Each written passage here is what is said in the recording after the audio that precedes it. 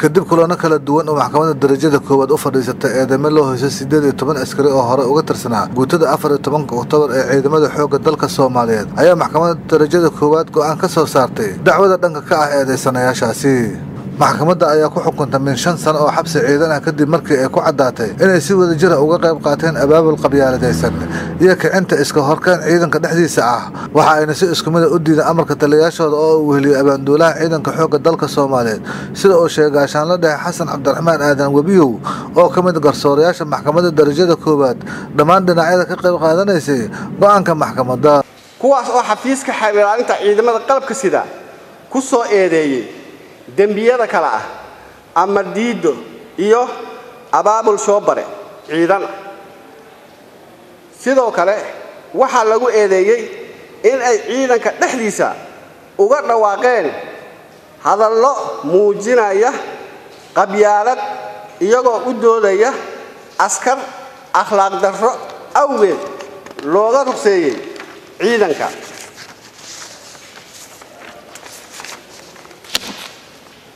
dood dheer kadib maxkamaddu markay aragtay qodobada iyo xeerka ciqaabta ciidamada soomaaliyeed markay aragtay maxkamadda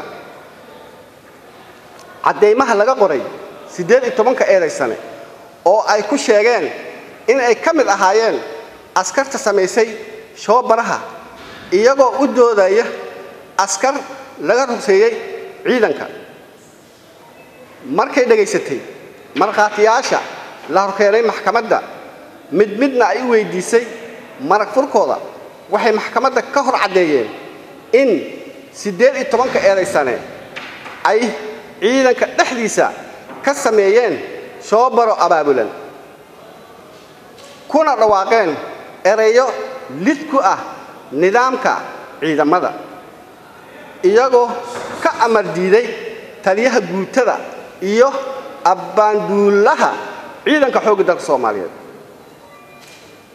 Markay dhegaysatay doodii qareennada oo nuxurkeedu ahaa in eedaysanayaasha loo naxariisto loona eego sifaaraha dembiga fududeeya. Sidaa darteed maxkamadda waxaa u caddaatay in siddeed iyo tobanka eedaysane ay wada yihiin dembiilayaal galay dembiyada lagu soo oogay. Waxay maxkamadda ku wada xukuntay min shan sano oo xabsi ciidan ah. Ciddii aan ku qanacsanayn xukunka maxkamadda waxaa u furan racfaan eedeysanayaasha ayaa u doodayay saddex iyo toban ka tirsan guutada afar iyo tobanka oktoobar oo hore loo ruqsiyey kuwaas oo xilli ramadaan isticmaala maandooriye.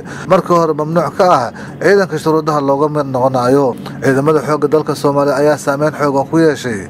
Burburkii dalka ka dhacay waxaana haatan ay u muuqdaan inay ka soo kabanayaan